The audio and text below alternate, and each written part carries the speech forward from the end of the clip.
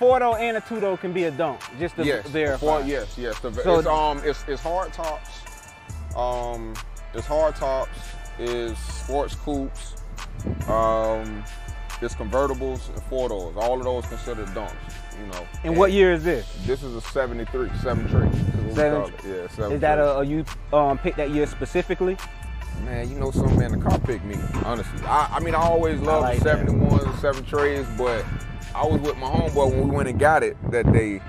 Um, and at first I wanted a vert, but all the verts I was finding, it was just, they wanted a lot form and it was rust bucket. So when I found this one, man, I, I seen this shit.